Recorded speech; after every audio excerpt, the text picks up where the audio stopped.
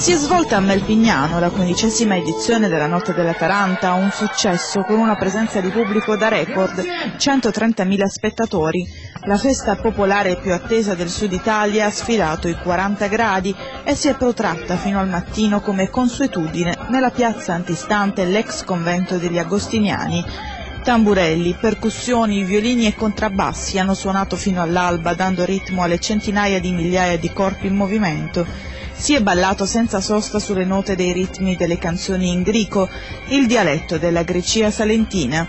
Grande attesa per la performance del maestro concertatore Goran Bregovic, completamente vestito di bianco per celebrare il matrimonio tra pizzica salentina e fanfare balcaniche con lui sul palco l'Orchestra della Notte della Taranta e la Wedding and Funeral Band, ma anche tanti altri ospiti, il coro delle Mondine di Novi, la Tonci Ulici e Madre Badessa Band e la Nenan Mladenovic Orchestra.